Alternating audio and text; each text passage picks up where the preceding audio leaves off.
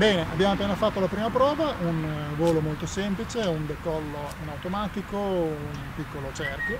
Abbiamo visto che in effetti il Karma vola bene, è stabile. Oggi non è una giornata ventosa, tuttavia rimane eh, bene fermo, bene stabile. La eh, stabilizzazione del gimbal mi sembra buona su tutti gli assi, quindi il risultato. Stiamo contestualmente registrando perché vogliamo vedere anche la GoPro come si comporta con eh, appunto i discorsi di vibrazioni. Quindi interrompiamo un attimo la uh, prima registrazione, sempre schiacciando eh, il bottoncino qua di seguito e proviamo a vedere come si comporta in volo facendo uh, un tragitto leggermente più, più lungo.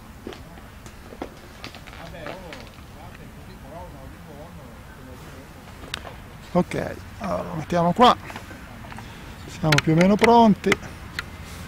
Schiacciamo il bottone di decollo automatico. 2, 1. si armano i motori.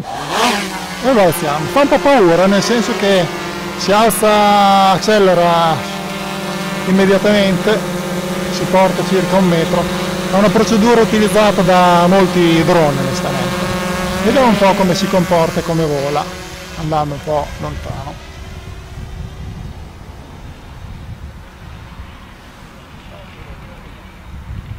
Direi che per il momento sembra volare bene, mi interessa anche eh, confrontare la qualità delle immagini registrate dalla GoPro. Abbiamo una GoPro 6 qui, sempre gentilmente concesseci dal team di gocamera.it che dopo lunga attesa, no? come sapete il Karma ha avuto qualche problema in fase iniziale di presentazione al mercato, aveva qualche piccolo difetto, tipo cadeva, non lo diciamo in giro, lo diciamo piano. Ora, per quel poco che mi sembra di cadere, di vedere se non ci farà delle sorprese improvvise, sembra comportarsi bene gatto senza infamia. Vediamo un pochino lasciando i comandi. Rallenta ma non ha quell'effetto frenata come tanti droni provati recentemente vedete? Arriva il rilascio improvvisamente. Ma sul, um, sulla, sulla, camera non, non, si nota assolutamente questo tipo di, di beccheggio. Anzi direi che il gimbal funziona bene adesso facciamo proprio anche una prova una specie di selfie no? avviciniamo. Eccoci qua. Vediamo adesso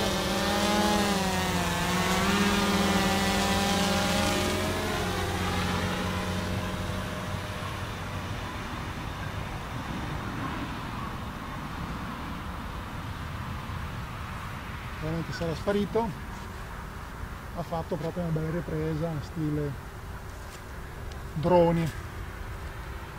Di altre rinomate case. Che bella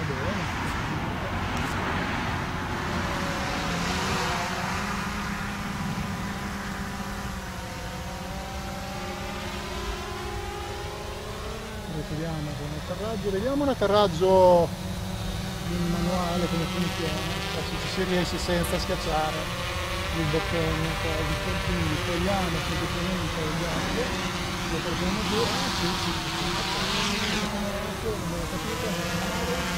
quindi portiamo giù pian pianino la leva del troppo del gatto a terra in maniera più che decente direi. Tenendo la schiacciata verso il basso, ovviamente si spegne. Accendere i motori. Bene, fine anche di questa seconda sessione.